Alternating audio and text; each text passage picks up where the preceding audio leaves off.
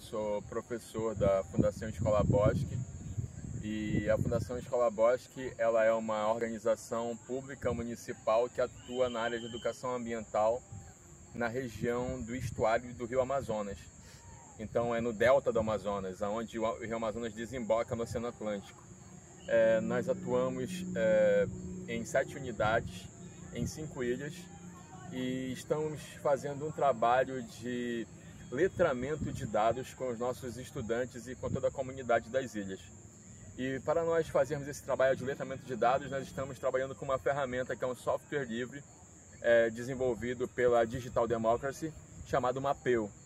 E o Mapeu ele está sendo muito importante nesse processo de fazer essa desalienação técnica acerca dos dados com as pessoas que moram na região do estuário, do estuário de Belém, porque abre a possibilidade de comunitários, estudantes, professores e pesquisadores aprenderem a coletar os seus dados, a organizar esses dados, a armazenar, processar e a partir dessa organização dessa informação gerar um conhecimento que pode que, que é necessário para a tomada de decisão é, com o intuito de transformar a realidade do território.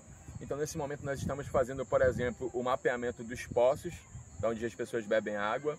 Nós estamos relacionando isso com dados é, de saúde e, a partir da análise desses dados, nós percebemos que essa água é uma água que ela está contaminada e desta maneira nós estamos agora trabalhando na construção de filtros biológicos feitos a partir de carvão vegetal feito com caroço de açaí.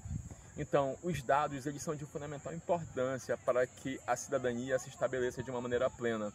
E eu agradeço a, a galera do Digital Democracy por estar colaborando nesse processo. É, o Luandro tem participado ativamente desse processo aqui na região da Foz do Rio Amazonas.